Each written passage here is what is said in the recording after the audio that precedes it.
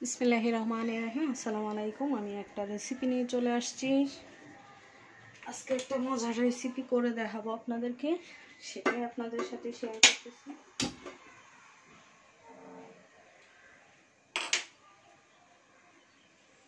আমি ফার্স্টে চিকেনটা ফ্রাই করে নিব।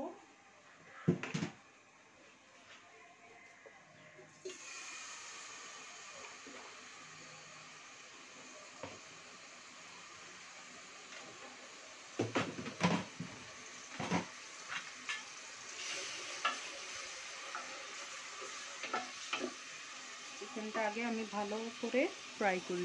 চিকেনটা আমার ভালো করে ফ্রাই করার পরে আমি এখন একটু আদা রসুন দিয়ে দিব।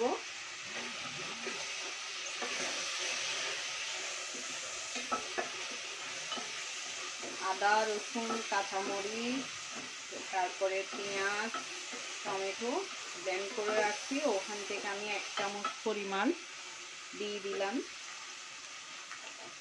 এখন আমি চিকেনটা যেহেতু আমি এক্সট্রাভাবে ফ্রাই করে নিলাম, এখন আমি দিয়ে দিব হচ্ছে সবজিগুলি দিয়ে দিচ্ছি। এখানে হচ্ছে ফুলকপি আর বরবটি। গাজর হলে আরও ভালো হতো, একটু কালারফুল হতো।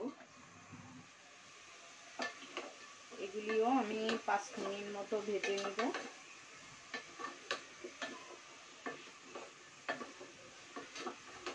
এগুলিও আমি পাঁচ মিনিট মতো ফ্রাই করে নিব। এটা আমি এখন পাঁচ মিনিট ভালো করে সবজিটা ফ্রাই করার পরে হচ্ছে এখন আমি পেঁয়াজ দিয়ে দিব। কিউব করে কেটে রাখা পেঁয়াজটা দিয়ে দিচ্ছি। বেশ কিছু পেঁয়াজ।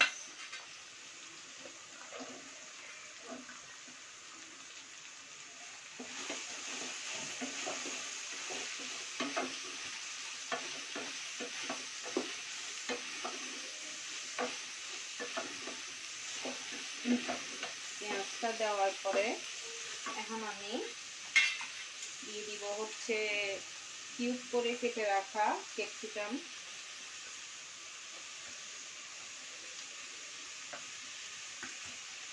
এরপরে আমি দিয়ে দিব আধা চামচ পরিমাণ টেস্টিং সল্ট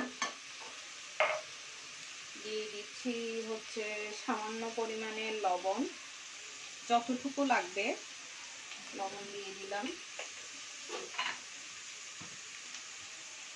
এরপরে দিয়ে দিচ্ছি আমি ম্যাগি মশলা।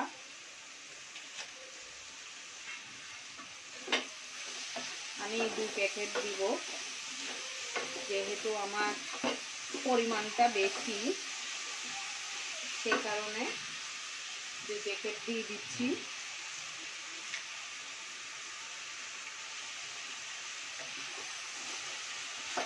এগুলি দিয়ে আরও পাঁচ মিনিট আমি ঢেকে রান্না করব।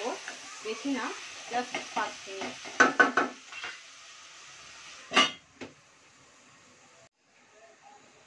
এখন আমি পাঁচ মিনিট পরে ফিরে আসছি।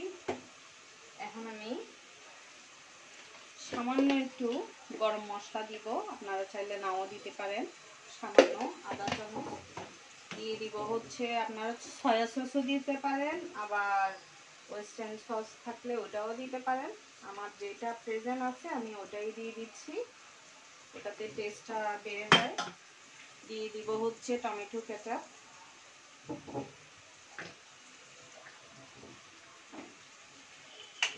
আমি দুই চামচ পরিমাণ দিয়ে দিলাম। এরপরে হচ্ছে আমি চিকন করে কিছু ক্যাপসিকাম কেটে রাখছি, ওটা দিয়ে দিব।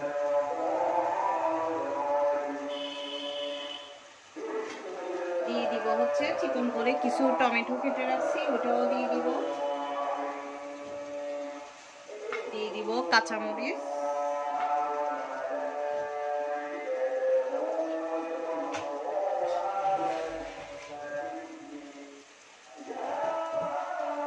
এগুলি ভালো করে আমি একটু নাড়াচাড়া করে নিব।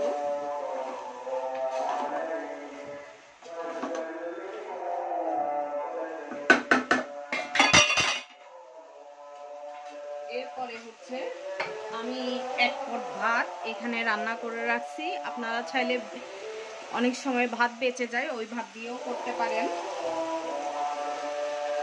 নর্মাল ভাত যেভাবে রান্না করে সেম ওইভাবে আমি রান্না করছি।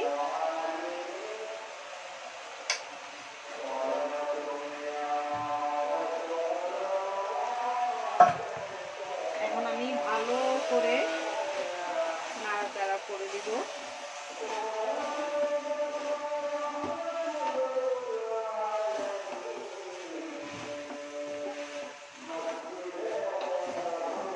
আমি টমেটোটা দিলাম কিন্তু কালারফুলের জন্য, যেহেতু আমার গাজর ছিল না, সেই কারণে আমি টমেটোটা ইউজ করছি কালারফুলের জন্য।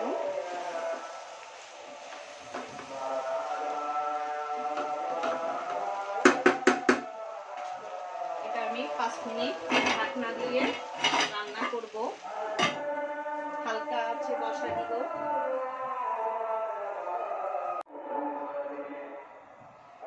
এখন আমি হচ্ছে আমি পাঁচ দশ মিনিট রাখার পরে ডিমকে ভেজে রাখছি। জাস্ট দুইটা ডিম আমি একটু সামান্য তেল দিয়ে ভেজে রাখছি। এখন আমি এগুলি সব দিয়ে দিচ্ছি। ধনে পাতা, ডিম ভাজাটা দিয়ে দিলাম।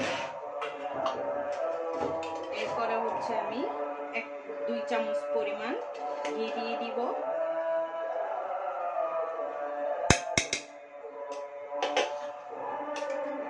দেওয়ার পরে হচ্ছে আমি ভালো করে নাড়াচাড়া করে দিব। ঝটপট তৈরি হয়ে গেল। বেঁচে যাওয়া ভাত দিয়েও করতে পারেন বা ইনস্ট্যান্ট ভাত রান্না করে ওটা দিয়েও করতে পারেন। খুবই মজা হয়। একটা হেলদি ফুড যেহেতু এটাতে সবজি অ্যাড করা আছে, সেই কারণে। আপনাদের যদি রেসিপি ভালো লেগে থাকে প্লিজ লাইক শেয়ার কমেন্ট করবেন, আমাকে ফলো করবেন, আমার সাথে থাকবেন। আল্লাহ হাফেজ, আসসালামু আলাইকুম।